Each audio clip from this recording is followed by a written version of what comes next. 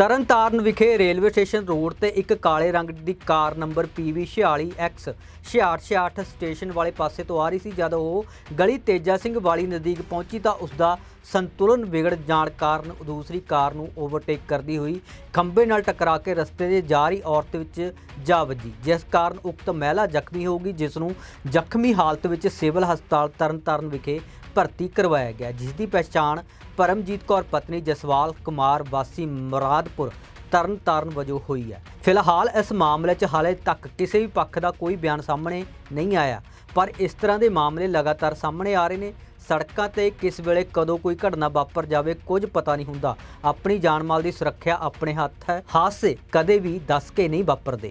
ਤਰਨਤਾਰਨ ਵਿਖੇ railway station road ਤੇ ਇੱਕ ਕਾਲੇ ਰੰਗ ਦੀ ਕਾਰ ਨੰਬਰ PV46X 6668 ਸਟੇਸ਼ਨ ਵਾਲੇ ਪਾਸੇ ਤੋਂ ਆ ਰਹੀ ਸੀ। ਜਦ ਉਹ ਗਲੀ ਤੇਜਾ ਸਿੰਘ ਵਾਲੀ ਨਜ਼ਦੀਕ ਪਹੁੰਚੀ ਤਾਂ ਉਸ ਦਾ ਸੰਤੁਲਨ ਵਿਗੜ ਜਾਣ ਕਾਰਨ ਦੂਸਰੀ ਕਾਰ ਨੂੰ ਓਵਰਟੇਕ ਕਰਦੀ ਹੋਈ ਖੰਭੇ ਨਾਲ ਟਕਰਾ ਕੇ ਰਸਤੇ ਦੇ ਜਾ ਰਹੀ ਔਰਤ ਵਿੱਚ ਜਾ ਵੱਜੀ, ਜਿਸ ਕਾਰਨ ਉਕਤ ਮਹਿਲਾ ਜ਼ਖਮੀ ਹੋ ਗਈ, ਜਿਸ ਨੂੰ ਜ਼ਖਮੀ ਹਾਲਤ ਵਿੱਚ ਸਿਵਲ ਹਸਪਤਾਲ ਤਰਨਤਾਰਨ ਵਿਖੇ ਭਰਤੀ ਕਰਵਾਇਆ ਗਿਆ ਜਿਸ ਦੀ ਪਛਾਣ ਪਰਮਜੀਤ ਕੌਰ, ਪਤਨੀ ਜਸਵਾਲ ਕੁਮਾਰ, ਵਾਸੀ ਮੁਰਾਦਪੁਰ ਤਰਨਤਾਰਨ ਵਜੋਂ ਹੋਈ ਹੈ। ਫਿਲਹਾਲ ਇਸ ਮਾਮਲੇ 'ਚ ਹਾਲੇ ਤੱਕ ਕਿਸੇ ਵੀ ਪੱਖ ਦਾ ਕੋਈ ਬਿਆਨ ਸਾਹਮਣੇ ਨਹੀਂ ਆਇਆ, ਪਰ ਇਸ ਤਰ੍ਹਾਂ ਦੇ ਮਾਮਲੇ ਲਗਾਤਾਰ ਸਾਹਮਣੇ ਆ ਰਹੇ ਨੇ।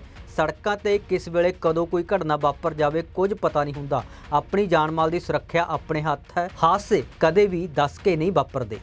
ਤਰਨਤਾਰਨ ਵਿਖੇ ਰੇਲਵੇ ਸਟੇਸ਼ਨ ਰੋਡ ਤੇ ਇੱਕ ਕਾਲੇ ਰੰਗ ਦੀ ਕਾਰ ਨੰਬਰ PV46X 6668 ਸਟੇਸ਼ਨ ਵਾਲੇ ਪਾਸੇ ਤੋਂ ਆ ਰਹੀ ਸੀ। ਜਦ ਉਹ ਗਲੀ ਤੇਜਾ ਸਿੰਘ ਵਾਲੀ ਨਜ਼ਦੀਕ ਪਹੁੰਚੀ ਤਾਂ ਉਸ ਦਾ ਸੰਤੁਲਨ ਵਿਗੜ ਜਾਣ ਕਾਰਨ ਦੂਸਰੀ ਕਾਰ ਨੂੰ ਓਵਰਟੇਕ ਕਰਦੀ ਹੋਈ ਖੰਭੇ ਨਾਲ ਟਕਰਾ ਕੇ ਰਸਤੇ ਦੇ ਜਾ ਰਹੀ ਔਰਤ ਵਿੱਚ ਜਾ ਵੱਜੀ। ਜਿਸ ਕਾਰਨ ਉਕਤ ਮਹਿਲਾ ਜ਼ਖਮੀ ਹੋ ਗਈ, ਜਿਸ ਨੂੰ ਜ਼ਖਮੀ ਹਾਲਤ ਵਿੱਚ ਸਿਵਲ ਹਸਪਤਾਲ ਤਰਨਤਾਰਨ ਵਿਖੇ ਭਰਤੀ ਕਰਵਾਇਆ ਗਿਆ। ਜਿਸ ਦੀ ਪਛਾਣ ਪਰਮਜੀਤ ਕੌਰ ਪਤਨੀ ਜਸਵਾਲ ਕੁਮਾਰ ਵਾਸੀ ਮੁਰਾਦਪੁਰ ਤਰਨਤਾਰਨ ਵਜੋਂ ਹੋਈ ਹੈ। ਫਿਲਹਾਲ ਇਸ ਮਾਮਲੇ 'ਚ ਹਾਲੇ ਤੱਕ ਕਿਸੇ ਵੀ ਪੱਖ ਦਾ ਕੋਈ ਬਿਆਨ ਸਾਹਮਣੇ ਨਹੀਂ ਆਇਆ, ਪਰ ਇਸ ਤਰ੍ਹਾਂ ਦੇ ਮਾਮਲੇ ਲਗਾਤਾਰ ਸਾਹਮਣੇ ਆ ਰਹੇ ਨੇ।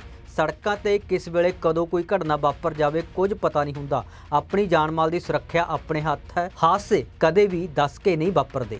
ਤਰਨਤਾਰਨ ਵਿਖੇ ਰੇਲਵੇ ਸਟੇਸ਼ਨ ਰੋਡ ਤੇ ਇੱਕ ਕਾਲੇ ਰੰਗ ਦੀ ਕਾਰ ਨੰਬਰ PV46X 6668 ਸਟੇਸ਼ਨ ਵਾਲੇ ਪਾਸੇ ਤੋਂ ਆ ਰਹੀ ਸੀ। ਜਦ ਉਹ ਗਲੀ ਤੇਜਾ ਸਿੰਘ ਵਾਲੀ ਨਜ਼ਦੀਕ ਪਹੁੰਚੀ ਤਾਂ ਉਸ ਦਾ ਸੰਤੁਲਨ ਵਿਗੜ ਜਾਣ ਕਾਰਨ ਦੂਸਰੀ ਕਾਰ ਨੂੰ ਓਵਰਟੇਕ ਕਰਦੀ ਹੋਈ ਖੰਭੇ ਨਾਲ ਟਕਰਾ ਕੇ ਰਸਤੇ ਦੇ ਜਾ ਰਹੀ ਔਰਤ ਵਿੱਚ ਜਾ ਵੱਜੀ, ਜਿਸ ਕਾਰਨ ਉਕਤ ਮਹਿਲਾ ਜ਼ਖਮੀ ਹੋ ਗਈ, ਜਿਸ ਨੂੰ ਜ਼ਖਮੀ ਹਾਲਤ ਵਿੱਚ ਸਿਵਲ ਹਸਪਤਾਲ ਤਰਨਤਾਰਨ ਵਿਖੇ ਭਰਤੀ ਕਰਵਾਇਆ ਗਿਆ। ਜਿਸ ਦੀ ਪਛਾਣ ਪਰਮਜੀਤ ਕੌਰ ਪਤਨੀ ਜਸਵਾਲ ਕੁਮਾਰ ਵਾਸੀ ਮੁਰਾਦਪੁਰ ਤਰਨਤਾਰਨ ਵਜੋਂ ਹੋਈ ਹੈ। ਫਿਲਹਾਲ ਇਸ ਮਾਮਲੇ 'ਚ ਹਾਲੇ ਤੱਕ ਕਿਸੇ ਵੀ ਪੱਖ ਦਾ ਕੋਈ ਬਿਆਨ ਸਾਹਮਣੇ ਨਹੀਂ ਆਇਆ, ਪਰ ਇਸ ਤਰ੍ਹਾਂ ਦੇ ਮਾਮਲੇ ਲਗਾਤਾਰ ਸਾਹਮਣੇ ਆ ਰਹੇ ਨੇ।